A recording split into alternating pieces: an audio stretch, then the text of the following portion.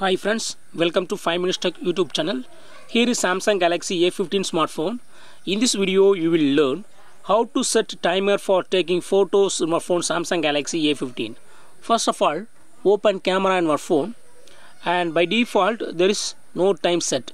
Uh, when you click on shutter button immediately photo will be taking okay if you want to set timer for taking photos yes you can do it what you have to do is click on this timer button and here you can select from the available option. First option is 2 seconds. So for taking photo you will have 2 seconds after pressing the uh, shutter button. Here I take this photo okay. And after pressing the shutter button it will count 2 seconds and uh, image will be captured okay. See the image. This is the image that I captured and uh, if you want to increase the timing again you have to go to this timer option.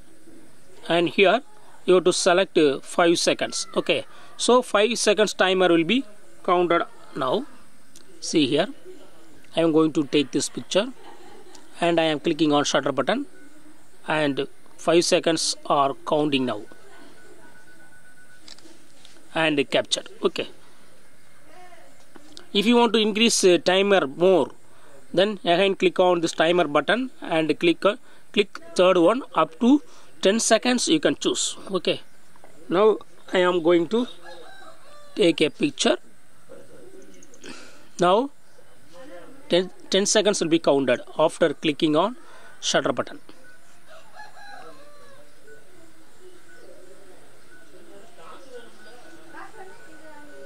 Yes taken. Okay so in this way you can easily set timer for taking photos in your phone samsung galaxy a15 that's all friends. Thanks for watching. Bye